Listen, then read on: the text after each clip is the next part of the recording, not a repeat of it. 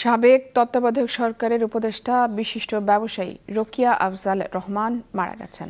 আজ ভোরে সিঙ্গাপুরের মাউন্ট এলিজাবেথ নভেনা হাসপাতালে তিনি শেষ নিঃশ্বাস ত্যাগ করেন।